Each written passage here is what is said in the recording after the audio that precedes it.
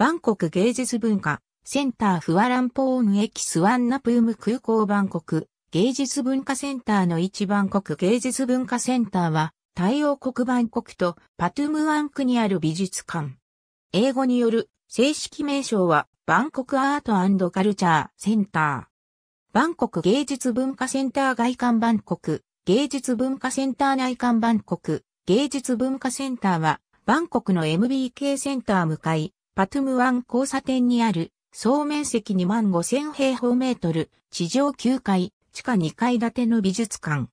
現代美術、文化振興を目的に、バンコク都によって設立され、美術、音楽、舞台芸術、映画、文学、デザインの展示を行っている。バンコク芸術文化センター財団が管理する。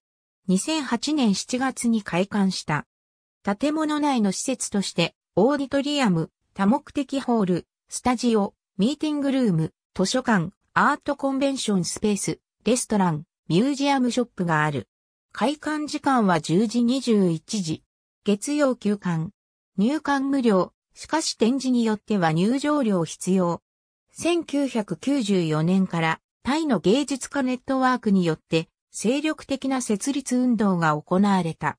当時バンコク都知事であったピチットラッタ軍がその設立計画を承認した。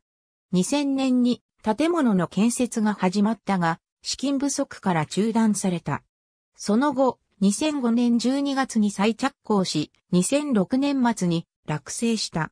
もともと計画では、バンコクメトロポリタン近代美術館という名前を使っていたが、開館前に現在の名前に変更をした。